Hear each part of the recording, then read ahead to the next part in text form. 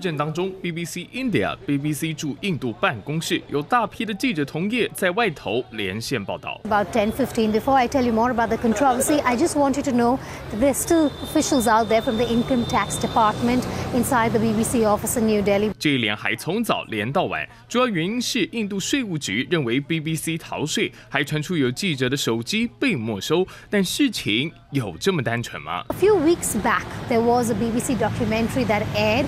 It was critical of the Indian Prime Minister Narendra Modi.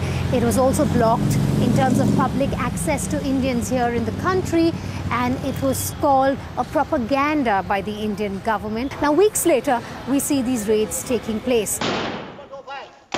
这部 BBC 的纪录片名为《莫迪问题》，主旨在回顾2002年印度古查拉迪省暴动案。当年这起暴动起源于这辆载有印度教朝圣者的列车失火，有59人受困车厢，因此丧生。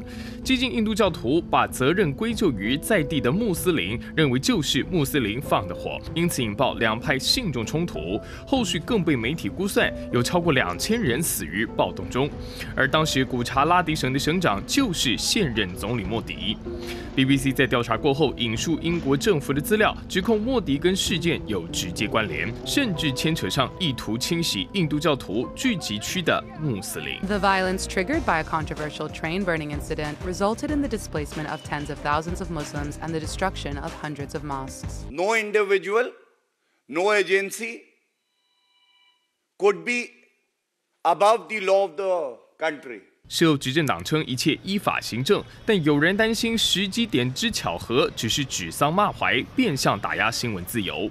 对此，BBC 已经发文完全配合。面对新闻媒体引述的消息，指控执政者有问题，莫迪及执政党的处置方法恐怕多了点瓜田李下之嫌。三立新闻动报道。